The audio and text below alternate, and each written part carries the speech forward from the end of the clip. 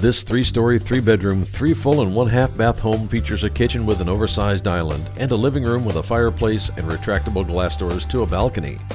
The primary suite encompasses the third level with a spa like bath.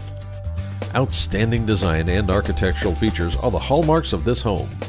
This home won't last long. Schedule a tour with Aidan Flores.